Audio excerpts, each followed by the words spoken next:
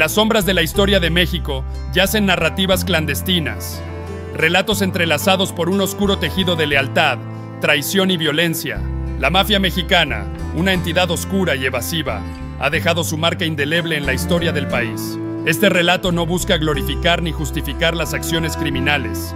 Más bien, pretende explorar los entresijos de un mundo marcado por la desesperación y la codicia, donde la traición acecha en cada esquina y la mala vida mafiosa es la única realidad conocida para muchos de sus involucrados.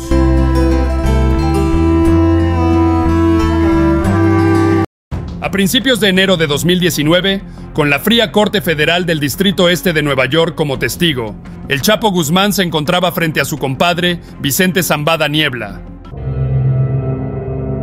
El capo estaba mirando al hombre que le había arrebatado la vida a su hijo, en ese momento, las emociones lo embargaban. La pérdida irreparable de su hijo Edgar Guzmán aún pesaba sobre sus hombros, y la presencia de Vicente frente a él era un recordatorio constante de aquel fatídico 8 de mayo de 2008. Vicentillo saludó cortésmente a El Chapo y el capo respondió el saludo moviendo su cabeza. Años atrás, el padre del Vicentillo, el Mayo Zambada y el Chapo Guzmán forjaron un imperio desafiante de fronteras, con los Beltrán Leiva como aliados clave. El Chapo, glorificado por su fuga de Puente Grande en 2001, contrastaba con el Mayo, maestro del bajo perfil y el único de la vieja guardia que nunca vio la cárcel. En aquellos años, el Chapo era un don Juan que ya se había convertido en padre, de César, quien más tarde optó por comenzar una carrera en el sector inmobiliario y alejarse del mundo del AMPA. El líder también tuvo a Iván Archibaldo, Jesús Alfredo, Alejandrina Giselle y Claudette, a quien estuvo con María Alejandrina Salazar, y después a Edgar, Ovidio, Joaquín y Grisel, hijos que el líder tuvo con su segunda esposa, Griselda Guadalupe López. El Chapo era un padre orgulloso de sus hijos, y aunque no los podía ver como él quisiera, siempre estaba al pendiente de ellos a través de sus gentes. Con el negocio en auge y la familia en relativa armonía, todo parecía bien, pero las apariencias engañan. Mientras el Chapo estaba tras las rejas, los Beltrán Leiva crecían en el AMPA. El corredor Sonora-Arizona, acordado entre distintas facciones, se mantenía en paz tras desterrar a los Arellano Félix en Sonora.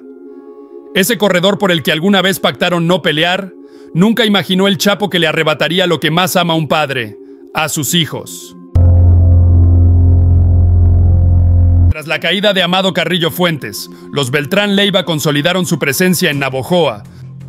El Mochomo, uno de los hermanos más ambiciosos y peligrosos, junto con su compadre Raúl Enrique Esparra, conocido como el 7 o el 9, líder de la banda llamada Los Güeritos, o Los Números, se enfrentaron a Don Adán, el líder de los Salazar, fiel seguidor del Mayo y el Chapo. El Mochomo buscaba el control del corredor para su familia, desencadenando tensiones crecientes entre el Chapo durante los años 2004, 2005 y 2006. A pesar de los intentos de pacificación liderados por el Mayo Zambada, la obsesión de Alfredo por el corredor Sonora-Arizona persistía. Aunque hubo descontento con las acciones del Mochomo, este contaba con el respaldo de sus hermanos. Mientras tanto, el Chapo, el Mayo, los Quintero y los Salazar argumentaban que no había necesidad de iniciar conflictos, ya que estaban trabajando en armonía. La confrontación entre el Mochomo y los Salazar se intensificó, con Alfredo Beltrán bloqueando los túneles de Nogales. Las tensiones, los celos y la ira surgieron en medio del conflicto, los líderes del AMPA evaluaron cómo manejar la situación con el Mochomo. La disputa era absurda, ya que todos pertenecían al mismo bando. La lucha amenazaba con interrumpir el flujo de productos de México hacia Estados Unidos. Aunque el Chapo intentó intervenir con sus parientes los Beltrán, tuvo poco impacto. El poderoso grupo criminal ahora estaba dividido, con miembros atacándose entre sí. La lucrativa industria no podía ser afectada por disputas internas. Esto era inaceptable. De 2004 a 2007, el panorama fue devastador. Se peleaban entre sí, y más aparte mantenían un nuevo frente de batalla contra los Zetas y el cartel del Golfo. Las expectativas de calma con los Beltrán Leiva, especialmente el Mochomo, fueron en vano. El gobierno intervino tras chivatazos, desmantelando sus operaciones en Sonora. Se acercaba el cumpleaños del Mochomo, y los Guzmán le prometieron un lujoso reloj como obsequio. Horas antes del cumpleaños le llegó el mensaje preguntándole dónde estaba para entregarle el reloj, y el Mochomo cayó en la trampa, revelando su ubicación exacta. Pero en lugar de un reloj, lo esperaban las fuerzas especiales del gobierno. El regalo resultó ser una trampa. En enero de 2008, las fuerzas especiales del ejército mexicano capturaron a Alfredo Beltrán Leiva, conocido como el Mochomo, durante un operativo en Culiacán, Sinaloa. La detención desató la ira de su hermano Arturo Beltrán Leiva, quien culpó a Joaquín Guzmán Loera de la traición, rompiendo relaciones y desencadenando una disputa que sembró caos en Sinaloa y sus alrededores. En medio de la creciente tensión con los Beltrán Leiva, el grupo de Sinaloa se vio envuelto en un fatal error que marcaría un hito en la historia de Lampa en México. La noche del 8 de mayo de 2008, en medio de un toque de queda, se dio un ataque que estalló en el estacionamiento de un concurrido centro comercial en Culiacán. Se reportaron más de 500 casquillos esparcidos en el suelo, y entre los caídos se encontraba Edgar Guzmán López, hijo del Chapo Guzmán. Aunque se sospechaba de los Beltrán Leiva como autores del ataque, resultó que el error fue interno. El mismo bando de Sinaloa estaba detrás del suceso. En una entrevista concedida a la periodista Anabel Hernández, Damaso López Serrano, conocido como el Mini Leak, reveló quién fue el responsable detrás de la tragedia.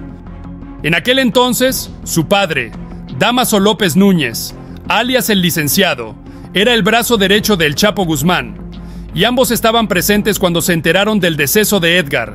Según el mini leak, la orden del ataque vino de Vicente Zambada Niebla, hijo del Mayo. Sin embargo, todo fue un malentendido. Los hombres del grupo sinaloense informaron a Zambada que personas de los Beltrán Leiva se reunirían en el centro comercial. Esa noche, Edgar salió sin sus escoltas ni radios de comunicación, lo que llevó a creer a todos que no había presencia de la organización en el lugar. Fue entonces cuando se dio la orden de disparar. Dicen que el Chapo amaba a sus hijos, pero Edgar era más que especial para él. Se daba vueltas en el suelo, lloraba y golpeaba con el puño la tierra. Gritaba, ¡Mi príncipe! ¡Mi rey! ¡Mi hijo! ¿Qué padre no llora el deceso de su hijo? Después de llorar amargamente la pérdida de su hijo y su posible sucesor, el Chapo Guzmán ordenó comprar todas las rosas de Culiacán para el funeral, marcando este trágico evento como un momento histórico. El acto del capo dejó sin tiempo a los vendedores para resurtirse de flores para el Día de las Madres. Después surgió un corrido llamado 50.000 Rosas, interpretado por Lupillo Rivera. Se dice que el Chapo perdonó a los hombres del macho prieto que recibían órdenes de Vicentillo. Sin embargo, su perdón era solo un preludio esperando el momento adecuado para vengarse del hijo del Mayo Zambada. Sin embargo, su anhelo de ajustar cuentas con el Vicentillo nunca pudieron concretarse, pues el hijo del Mayo Zambada decidió dejar el país en busca de una vida alejada del crimen. La tragedia por el corredor, Sonora, Arizona, afectó a todos. Los hermanos Beltrán Leiva se extinguieron poco a poco. El Chapo Guzmán está en una pared oscura y peor aún, perdió a su príncipe Edgar. En el mundo de Lampa las pérdidas son inevitables. Esta semana se cumplieron 16 años del trágico final del Chapito, y el Chapo desde donde está aún lo lleva presente. Hoy el Chapo Guzmán se encuentra en la oscuridad de su encierro en el aniversario número 16 de aquel fatídico 8 de mayo del 2008, recordando con dolor y amargura la pérdida de su hijo Edgar, aquel joven que era más que especial para él, su príncipe su rey. Pero su amargura es aún mayor. Su otro hijo, Ovidio Guzmán, el hermano de Edgar, se encuentra en una prisión fría de Estados Unidos.